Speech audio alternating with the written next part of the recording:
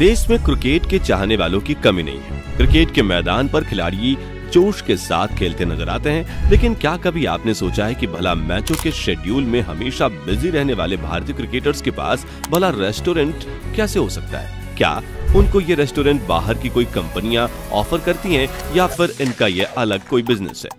लेकिन अगर इनका ये कोई अलग से बिज़नेस है तो यहाँ इतना समय कहाँ से ये निकाल पाते हैं?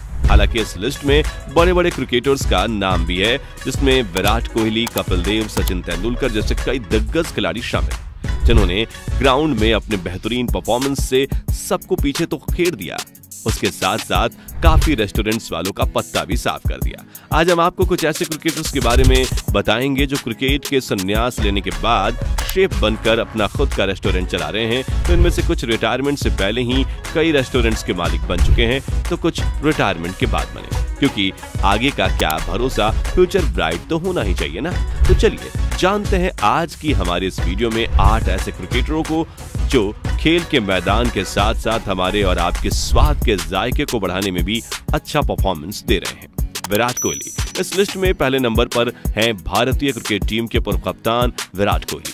विराट कोहली ने कई साल पहले वन एट कॉम्यून नाम से रेस्ट्रो बार से हॉस्पिटैलिटी इंडस्ट्री में कदम रखा था। वहीं अब तक विराट स्पोर्ट चेन की पाँच ब्रांच खोल चुके हैं और जल्द ही मुंबई में छठी ब्रांच खुलने वाली है। विराट ने महान गायक किशोर कुमार के मुंबई वाले बंगले को अपने वन एट कम्यून रेस्टोरेंट में बदल दिया है। विराट के इस फ़ूड चैन की ब्रांच दिल्ली के एरो सिटी सिविल लाइन्स के अलावा कोलकाता और पुणे में भी है। इसके अलावा 2019 में कोहली ने साउथ दिल्ली के आर के पुरम में नूबिया नाम से एक और रेस्टोरेंट शुरू किया था। क्रिकेट जगत की तरह ही विराट ने रेस्टोरेंट बिज़नेस में काफ़ी कामयाबी हासिल की है। हालाँकि आपको बता दें कि विराट कोहली का रेस्टोरेंट नूबिया अपने स्वाद और ग्लोबल मेन्यू के लिए जाना जाता है, जिसमें स्पेशली जापानी डिश सुशी के साथ साथ साउथ अमेरिका का सैंडविच और पेला शामिल है। यहाँ के हेड शेफ माइकल स्वामी हैं। माइकल का नाम भारत के टॉप 50 शिप्स में से एक है। ये मशहूर सेफ़ फ़ूड एनालिसिस्ट, राइटर और ट्रेवल फोटोग्राफर हैं। इस रेस्टोरेंट को अभी तक शराब परोसने का लाइसेंस नहीं मिला है। इसके अलावा यहाँ के मेन्यू में आपको स्पेन इटली पुर्तगाल फ्रांस जापान और रशियन फ़ूड की भी एक लिस्ट मिलेगी। यहाँ शीशे की किचन बनाई गई है। साथ ही सफ़ेद और गोल्ड कलर में इसे सजाया गया है। यहाँ का क्लासिक स्टाइल खाने के स्वाद को दोगुना कर देता है। नुएवा में खिलाड़ियों के अलावा कोई सेलिब्रिटी भी टेस्टी खाने का स्वाद चखने आते हैं। यहाँ अक्सर आईपीएल के बाद अन्य दिनों में कोहली अपने फ्रेंड्स के साथ पार्टी करते हैं। लेकिन दोस्तों, आप सोच रहे होंगे कि इतनी अच्छी खासी कमाई होने के बाद इन्हें रेस्टोरेंट ही क्यों खोलना है? तो आपको बता दें कि अपने करियर पर फोकस करने के साथ साथ रेस्टोरेंट एक ऐसा बिज़नेस है जिसमें आप कम समय में अच्छी कमाई कर सकते हैं। सचिन तेंदुलकर। क्रिकेट के भगवान कहे जाने वाले सचिन तेंदुलकर को खाना बनाने का बेहद शौक है। ऐसे में खाने के बेहद शौकीन सचिन मैदान के बाहर रेस्टोरेंट का बिज़नेस कर रहे हैं।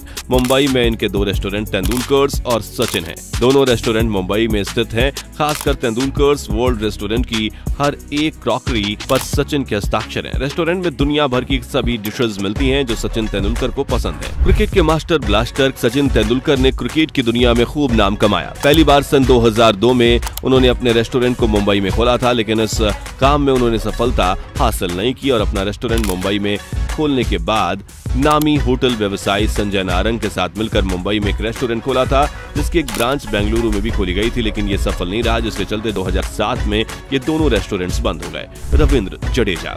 भारत के ऑलराउंडर रविंद्र जडेजा को यूँ ही ऑलराउंडर नहीं कहा जाता। उसके पीछे इनकी शानदार परफॉर्मेंस इनकी ये उपाधि दिलाती है। क्रिकेट के अलावा इन्होंने रेस्टोरेंट में भी अपनी किस्मत आजमाई। दरअसल रविंद्र जडेजा के रेस्टोरेंट का नाम जड्डूज फ़ूड फ़ील्ड है। जडेजा का यह रेस्टोरेंट राजकोट में स्थित है। भारतीय ऑलराउंडर रविंद्र जडेजा ने साल 2012 में अपने होम टाउन राजकोट में जड्डू का फ़ूड नाम से रेस्टोरेंट खोला था। हालाँकि होटल का संचालन उनकी बहन करती थी। साल 2017 में महानगर पालिका के स्वास्थ्य विभाग ने होटल पर छापा मारा था, जहाँ से उन्हें बासी सब्ज़ियाँ, नूडल्स, पास्ता सहित कई खराब गुणवत्ता वाली वस्तुएँ मिली थी, जिसके बाद ये रेस्टोरेंट बंद हो गया था। जडेजा ने बारह में शुरू किया था और राजकोट में खुले इस रेस्टोरेंट में विदेशी खाना भी मिलता है। हालाँकि उनके लिए इनका एक बैड लक रहा क्योंकि इनका यह रेस्टोरेंट अब बंद हो चुका है, ज़ाहिर खान। भारतीय क्रिकेट टीम के पूर्व पेसर ज़ाहिर खान ने भी रेस्टोरेंट खोला और भारत के तेज गेंदबाज ज़ाहिर खान के दो रेस्टोरेंट हैं डाइन फाइन और टॉप स्पोर्ट्स लाउंज नाम से दो रेस्टोरेंट्स पुणे में स्थित हैं। ज़ाहिर ने अपना पहला रेस्टोरेंट पुणे में खोला था, जिसका नाम उन्होंने ज़ाहिर खान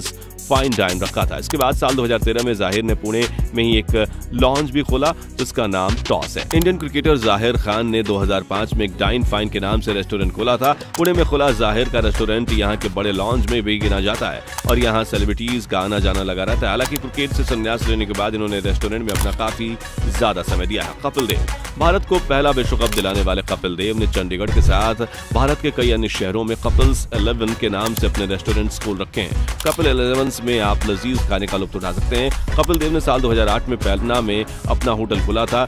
यह बिहार में पहला क्रिकेट थीम वाला होटल था। कपिल देव के होटल में एक बार और एक लाउंज भी है। यहाँ इंडियन फ़ूड के साथ साथ कॉन्टिनेंटल खाना भी मिलता है तो काफ़ी फ़ेमस है। इनके बारे में आपका यही ख्याल होगा कि रिटायरमेंट के बाद इन्होंने रेस्टोरेंट को क्यों चुना? तो आपको हम बता चुके हैं कि रेस्टोरेंट एक ऐसा ऑप्शन है भारत में जो लग्जरियस लाइफ को दर्शाता है और इस लग्जरियस लाइफ के साथ इन्हें अच्छी इनकम भी होती है। सौरभ गांगुली बीसीसीआई के अध्यक्ष और भारतीय टीम के पूर्व दिग्गज क्रिकेटर सौरभ गांगुली भी रेस्टोरेंट खोलने की लिस्ट में शामिल है। सौरभ गांगुली ने भी बाखर क्रिकेटर की तरह अपना रेस्टोरेंट खोला है। सौरभ गांगुली ने साल 2004 में अपने होम टाउन कोलकाता में सौरभ द फ़ूड पवेलियन नाम का रेस्टोरेंट खोला था। कुछ साल तो यह रेस्टोरेंट सही चला, लेकिन बाद में गांगुली को नुकसान होने लगा, जिसकी वजह से इसे साल 2011 में बंद कर दिया गया। जिसको लेकर उनके भाई देवाशीष ने बताया कि मैं और सौरभ अधिक व्यस्त होने की वजह से इस पर ध्यान नहीं दे पा रहे थे, इसी कारण हमने इसे बंद कर देने का फैसला किया। भले ही ये बिज़नेस फ़ील्ड में ज़्यादा नाम नहीं कमा पाए, लेकिन क्रिकेट जगत में इनका नाम आज भी चलता है। वीरेंद्र सहवाग, दिग्गज क्रिकेटर वीरेंद्र सहवाग भी इस लिस्ट में शामिल है। वीरेंद्र सहवाग ने भी अपना रेस्टोरेंट खोला था। सहवाग ने एक पार्टनर के साथ मिलकर दिल्ली के मोती नगर में सहवाग फेवरेट नाम के रेस्टोरेंट की शुरुआत की थी। यह रेस्टोरेंट साल 2006 में खोला गया था और यह एक शुद्ध शाकाहारी रेस्टोरेंट था, इसलिए बिज़नेस अधिक नहीं चलने की वजह से सहवाग ने भी 2009 में इसे बंद करने का फैसला किया। वहीं कहा तो ये भी जाता है कि अपने पार्टनर से धोखे के कारण सहवाग ने इसे बंद कर दिया। सुरेश रैना। पूर्व भारतीय क्रिकेटर सुरेश रैना अपने दौर के सबसे विस्फोटक बल्लेबाजों में से एक रहे हैं। भारत के लिए टी में पहला शतक लगाने वाले रैना जब भी मैदान में बल्लेबाजी करने के लिए आते थे, उनके अंदर रनों की भूख दिखती थी। हालाँकि रैना अपने शॉट सेलेक्शन को लेकर जितना सजग रहते थे, उतना ही ध्यान व खाने और स्वाद पर भी देते हैं। शायद यही वजह है की देश के सबसे फुर्तीले फील्डर में से एक रैना दिखने में कभी इतने फिट नहीं थे, जितने वो फील्डिंग के दौरान नज़र आते थे। सुरेश रैना ने क्रिकेट के बाद एक नई पारी की शुरुआत की है। दरअसल उन्होंने यूरोप में अपना एक रेस्टोरेंट रेस्टोरेंट खोला है। उन्होंने इंटरनेशनल क्रिकेट से रिटायर होने के बाद हाल ही में नीदरलैंड की राजधानी एम्स्टर्डम में एक इंडियन रेस्टोरेंट खोला। उन्होंने अपने रेस्टोरेंट का नाम खुद के नाम पर रखा है, सुरेश रैना।